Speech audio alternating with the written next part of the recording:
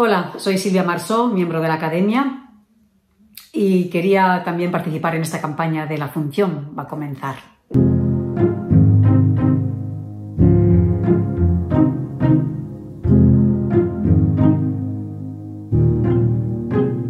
Verdad es que a mí me pilló rodando una serie, El secreto de Puente Viejo en Antena 3, pero acabábamos de hacer el último bolo de 24 horas en la vida de una mujer, el espectáculo musical que llevamos por toda España basado en la novela de Stefan Zweig.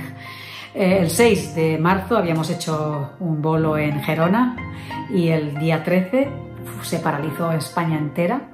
y aquí estamos. Creo que el futuro está un poco difícil para nuestro sector porque va a ser el último en poder eh, empezar a funcionar y, sé que las ayudas y las, los acuerdos que estamos llegando con el gobierno pues van a ayudar de alguna manera levemente a, nuestra, a nuestros profesionales, pero no es suficiente. De todas maneras tengo una gran fe porque nuestra profesión siempre tira para adelante por el amor y por la dedicación y el compromiso que tenemos todos los profesionales de las artes escénicas. Un momento especial en mi trayectoria después de 40 años, que son muchas anécdotas, claro, pero si tuviera que elegir algo que me emocionó profundamente fue cuando en el estreno de 24 horas en la vida de una mujer en el Teatro de la Abadía, en ese gran templo que, es para, la cultura en España, José Luis Gómez se acercó después del estreno con todos los invitados y tal, me hizo una pequeña reverencia y me dijo gracias por traernos este espectáculo a nuestra abadía.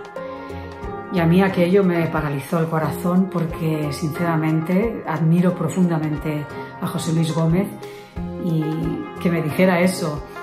Claro, él es un amante de Stefan Zweig y le pareció el espectáculo muy apropiado para, para esa iglesia increíble que es el templo de la abadía